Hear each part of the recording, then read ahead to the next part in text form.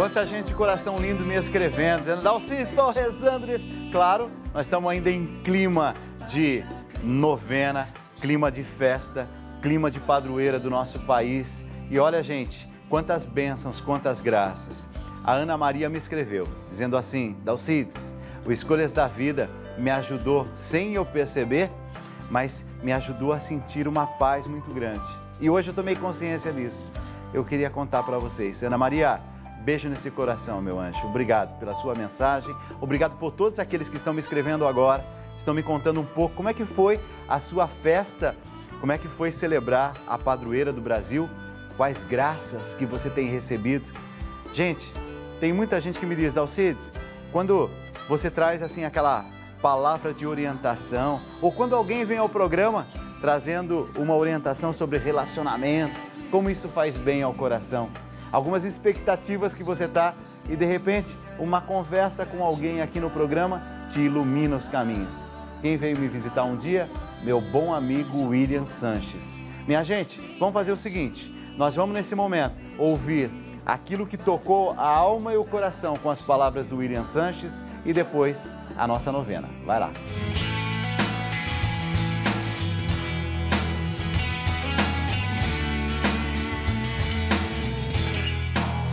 William Sanches, seja muito bem-vindo. Tudo bem com você? Só alegria, sempre um prazer estar aqui de volta. Tava com saudades já. Eu também estava com saudades e, inclusive, chegou com um tema muito, muito bacana. Quando muito a gente legal. fala assim de relacionamento próspero, eu estou dizendo assim, um relacionamento que que dá certo, um relacionamento com perspectiva. O que significa? Um relacionamento bom, né? Quando nós buscamos um, relacionamento, nós buscamos prosperidade nele, um relacionamento que nos faça bem, que nos faça felizes e que a gente possa compartilhar também essa felicidade junto com a outra pessoa que nós estamos nos relacionando.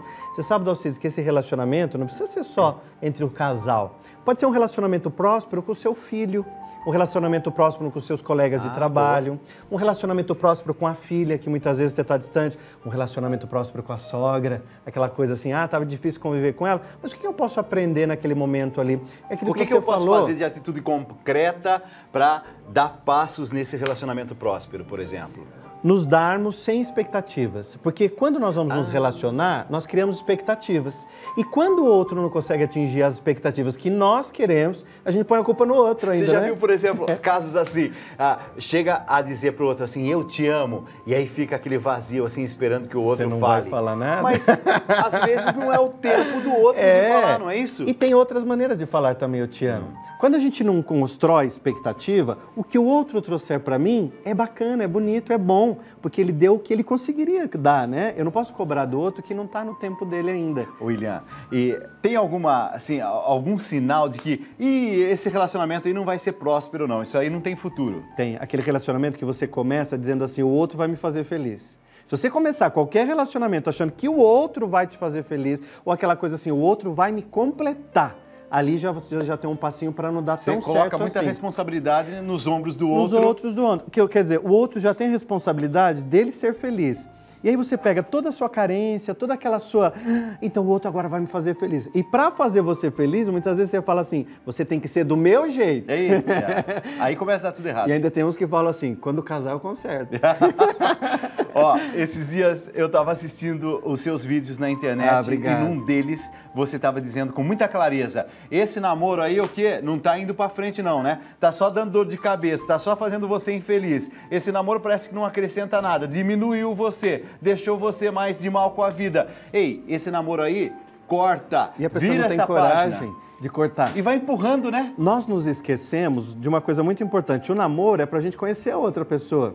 Então, se a outra pessoa já está dando sinais de que os valores não batem com os seus, a ética, a moral, os desejos, até os sonhos, você tem que conhecer o sonho das outras pessoas. Não está funcionando, não está batendo? Então, opa, é um sinal de que eu tenho que cuidar um pouco mais ali é, desse relacionamento, aí ele vai dar certo. A Janeci, Janeci, ela está perguntando sobre é, o, o relacionamento próspero não significa relacionamento perfeito. Ela quer que você fale um pouquinho sobre isso. É verdade, né? Pois é, a perfeição dá uma sensação de destino, né? Eu tenho que chegar até aquele ponto ali, então tem que ser perfeito. Não, estamos lidando com seres humanos e claro que vem desafios. E é dentro dos desafios que a gente vai aprender a ser cada vez mais prósperos. Prosperidade é todos os dias, é um passo. Imagina hoje a gente terminar o dia sem briga, um dia próspero. Terminar um dia com uma benção na sua casa, comemorando algo bom que aconteceu.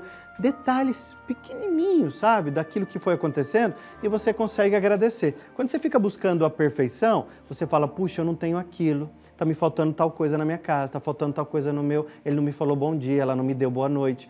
Quer dizer, eu vou estar sempre buscando a perfeição. A perfeição vai me distanciar ainda mais da prosperidade que já está todos os dias com você. Tem gente que bota a culpa em Deus. É pois é. verdade. É. O Antônio Carlos está falando lá do Recife. Antônio Carlos, um abraço para você e para todo mundo aí do Recife. E é verdade, né? Tem gente que bota a culpa em Deus. E ainda fica quieto, dizendo assim: Deus quis assim. É. E simplesmente não fala mais nada. Nós podemos nos movimentar assim, né? A fé geração e ação gera milagre. Olha que bonitinho esses ah, três essas três etapas. Nesses dias eu ouvi uma coisa é, que eu não acreditei. Alguém me disse assim, com uma certa raiva é. até, olha só o que Deus arrumou para mim. Ela estava falando sobre o marido dela. É. Olha só o que Deus arrumou para mim. Ô filha, eu disse assim, ou... Oh, calma lá, essa história de botar sobre Deus a responsabilidade Ei, você fez um discernimento ao longo do matrimônio? Você buscou construir alguma coisa? É, aí fica muito fácil, né? A coisa começa a dar errado aí. Dizem Ei, que amor é história... cego. Ah. Mas não é que o amor é cego. O amor não é cego. O amor é incondicional, ele é maravilhoso.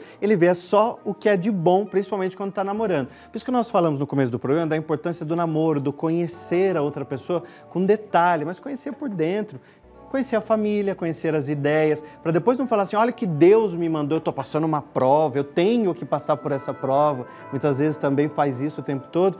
E aí começa a se distanciar do outro e não conversa. Relacionamento próspero é aquele onde acontece a comunicação. Quando você era criança, você brincava com aquele telefone que era uma latinha, uma linha. Telefone de fio.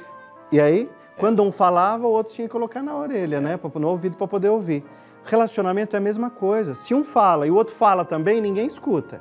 Então, enquanto um está falando, o outro precisa ouvir. É aquele telefone que você precisa esticar. Essa comunicação precisa acontecer dentro do relacionamento para que ele seja próximo.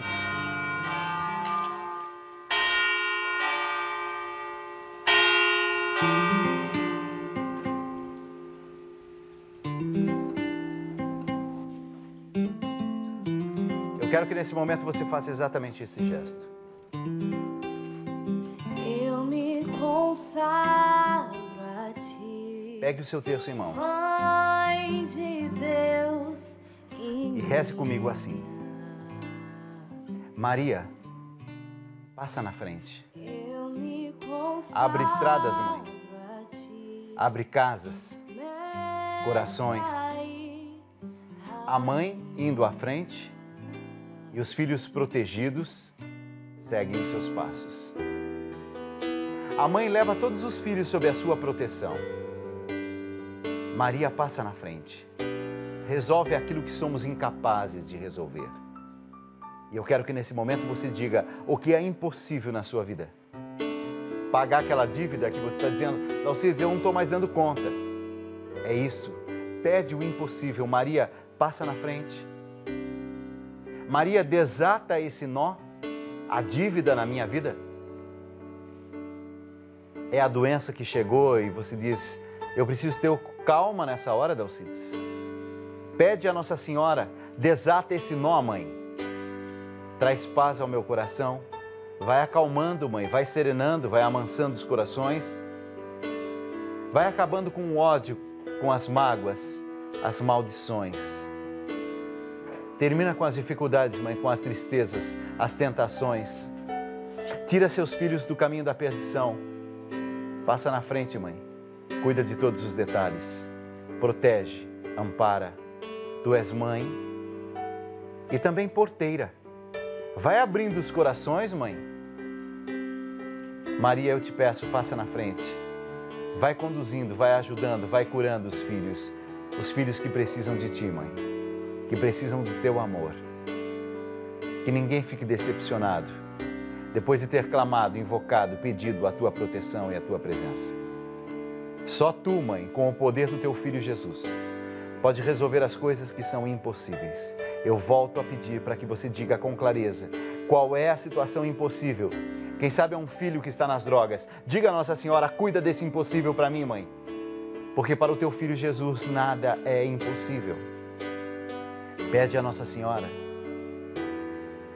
Quem sabe uma causa na justiça que parece que não sai nunca. Pede a Nossa Senhora, passa na frente, mãe. Desata esse nó. Maria passa à frente da minha vida, da minha família, da minha saúde. Ave Maria, cheia de graça, o Senhor é convosco.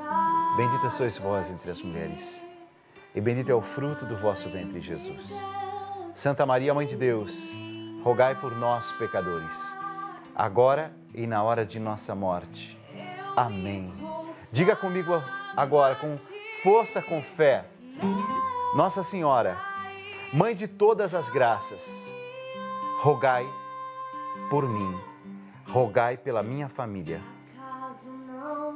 Eu peço que agora você se volte aqui para Nossa Senhora de Fátima, para essa imagem de Nossa Senhora de Fátima. Eu me consagro ao teu coração, Senhora minha e minha mãe. Eu me ofereço inteiramente ao teu coração. E como assim sou vosso, boa e incomparável Mãe, guardai-me, defendei-me, protegei-me, amparai-me como filho vosso. Assim seja, como propriedade vossa, assim seja. Minha família é tua, mãe. Cuida da minha família. Cuida de quem mais precisa nessa família. Senhora minha e minha mãe. Nossa Senhora de Fátima, rogai por todos nós. Senhora de Fátima, rogai por todos nós. E que a Santa Cruz seja nosso guia, nossa fortaleza e nossa esperança. Em nome do Pai, e do Filho, e do Espírito Santo. Amém. Deixe a graça de Deus chegar a esse coração, restaurar suas forças, te fazer uma criatura nova, porque eu me consagro a Ti. Ó oh, Mãe, eu me consagro a Ti. Ó oh, Mãe eu me consagro. Eu me consagro a ti, Mãe Deus e minha. Eu me consagro a ti, Mestra e Rainha. Acaso não sabeis sou da Imaculada?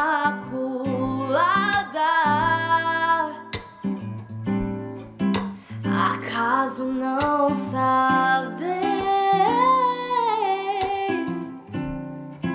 Tem uma advogada.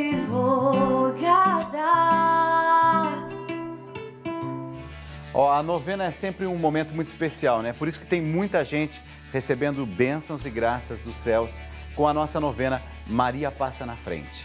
Mas agora eu quero que você esteja atento, porque eu quero que você cuide do seu físico. Cuidamos da alma, da sua espiritualidade, das suas emoções e agora desse físico para você estar forte nas batalhas. Vai. Eu vou acompanhando assim cada dia as pessoas que me ligam, que entram em contato, que mandam mensagens. Dalcides, minha vida está sendo transformada. Dalcides, como eu queria aquele abraço. Se você é do Rio de Janeiro, eu quero me encontrar com você amanhã. Eu já estou ansioso. Amanhã cedinho eu estou indo para o Rio de Janeiro, porque ó, missa o Rio celebra na Capela Nossa Senhora da Penha. Olha, sábado 14, ou seja, amanhã, 9 horas da manhã, eu vou estar lá. Aí você fala, mas onde que fica, hein, Dalcides? Fica aí, ó, Estrada de Paciência 807, bairro Cosmos. Vem comigo.